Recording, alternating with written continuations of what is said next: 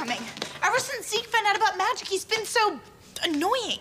Aw, now that's love. You think he just became annoying.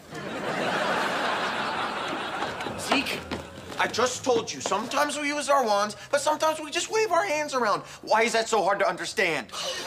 Gosh, I love how wizardry plays by its own rules. Okay, is there like a special gland in your body that secretes magic and then sometimes it gets all clogged up and you have to pop it and magic goes everywhere? Ew. All right, I'm upstairs if anyone needs me.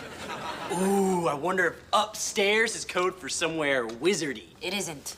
Oh, I wonder if it isn't is code for something wizardy. It is.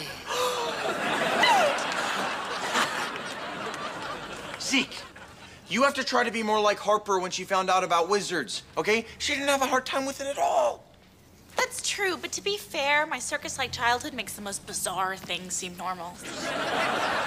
Sorry, Justin, it's just that I have so many questions. For example, can you cook a hot dog by sticking it on a wand? Zeke! Oh, can you use magic to turn me into an alien dog named Kevin?